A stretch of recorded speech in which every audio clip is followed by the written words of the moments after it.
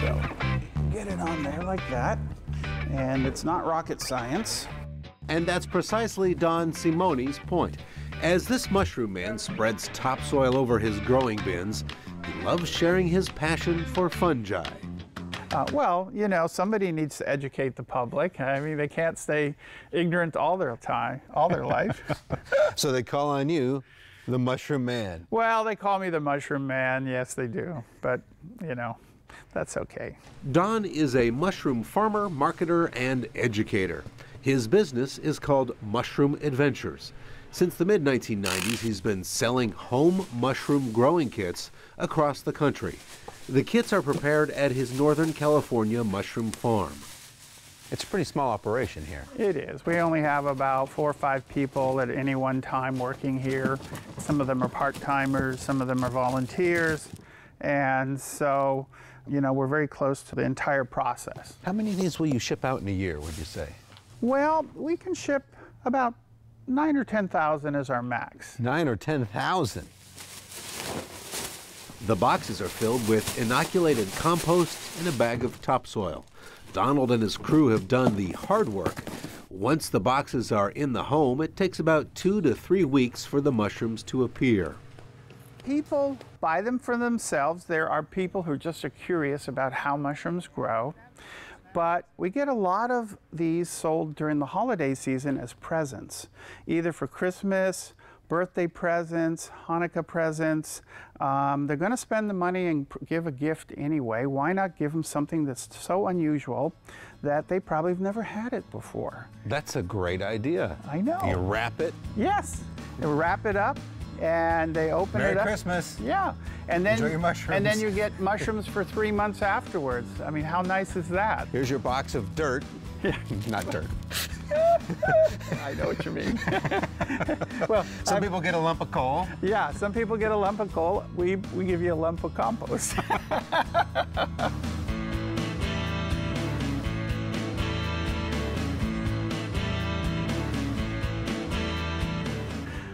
Always been a farmer at heart.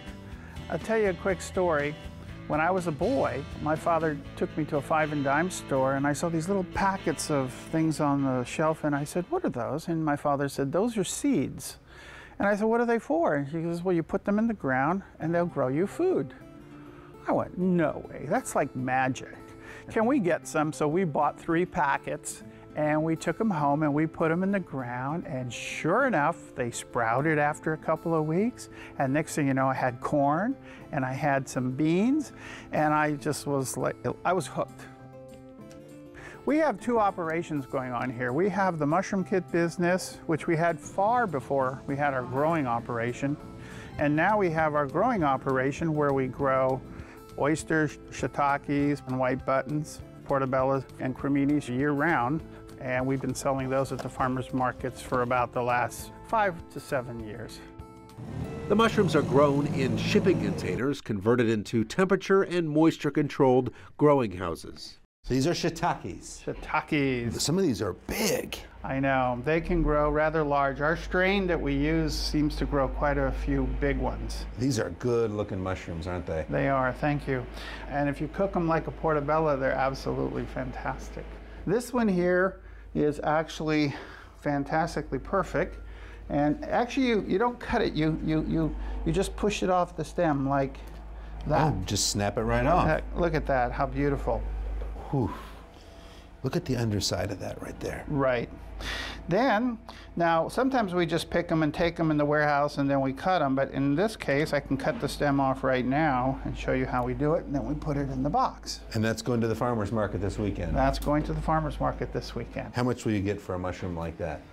Oh, let's see. Good size. That's about a quarter pound. That's about a $3 mushroom. $3 mushroom right there. That's what you like, right? That's what I like. I like $3 mushrooms. What is it about the mushroom that when you when you describe the taste of a mushroom, mm -hmm. what do you tell folks? Well, I have to say, sometimes it's a challenge um, to describe a flavor. For example, like the shiitake mushrooms, I tell people it has a rich, earthy taste. And oyster mushrooms have a flavor similar to kind of chicken meat with the same texture. Mm -hmm. It's a whole different flavor. And portobellas and creminis, they have, it's uh, kind of like a more mushroomy flavor than the white buttons. The white buttons are probably the least flavored. Don's mushroom growing began as a hobby, and 20 years later, it's a full time farming and business operation. It also turned Don Simoni into this fungi's number one fun guy.